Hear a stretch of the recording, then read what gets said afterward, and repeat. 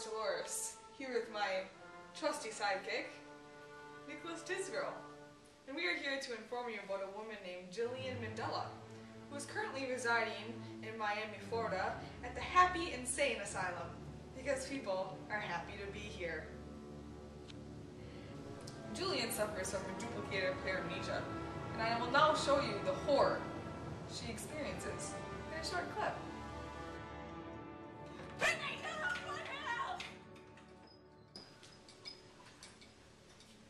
also like to see my husband.